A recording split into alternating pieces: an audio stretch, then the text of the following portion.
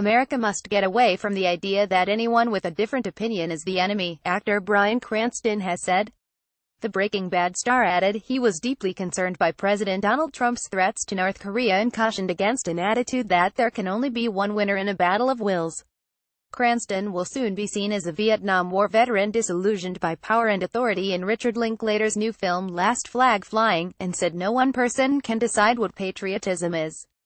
Arriving at the premiere at the BFI London Film Festival, he said I think it's different for every person. Patriotism is in your heart. It's not the flag that you wear on your sleeve or don't wear on your lapel. That determines your own personal patriotism. I think generally, especially in our country, it's gotten to the point where we have conducted ourselves in a manner that it's like a sporting event. I think we have to get away from that. Mike at Bryan Cranston on his character in Last Flag Flying he learns through this story it's not always virtuous to be honest lffpic.twitter.com v2 2RP9CTX BFI at BFI October 8, 2017 We have to get away from the idea that if someone has a different opinion than yours then they're the enemy. They're not the enemy, they just have a different ideology of how to approach a problem and we can learn a lot from each other. Let's find the areas where we agree and work from there. He continued we have to get away from the sense of competition. If they win I lose and I can't have that.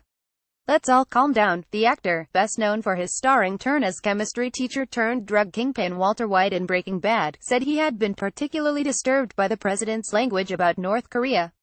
He said it does concern me, hyperbolic conversations and bluster rarely are the way to go. Certainly when negotiating, you can't have diplomacy by slapping someone in the face and then say let's sit down and talk. It's like well wait a minute, we have to come from a place of at least neutral understanding, if not respect, and start from there. The film sees Cranston star opposite Steve Carell and Laurence Fishburne as former Marines who have not seen each other since they served together but who reunite to bury one of their sons. Mike director writer Richard Linklater on it Bryan Cranston he's one of those chameleons. He can just do anything lffpic.twitter.com ish 3 or. BFI at BFI October 8, 2017 While it is set in the early days of the War on Terror, the actor said it still has modern-day implications.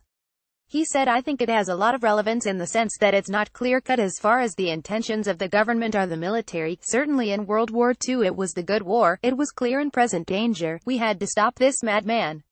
Since then with Vietnam and Iraq, there are a lot of questions, a lot of insecurity among the troops and citizens if we are doing the right thing and what is the purpose of it. If this is an anti-war movie, I think every war movie should be an anti-war movie. We should look at war as the absolute last resort to any conflict and diplomacy should be the name of the game, for as far down the line as you can, writing hand Heisenberg at Bryan Cranston himself signing some final autographs lffpic.twitter.com FOI74PT, BFI at BFI October 8, 2017 Hopefully that is where our country will eventually get to but it's a rocky road right now.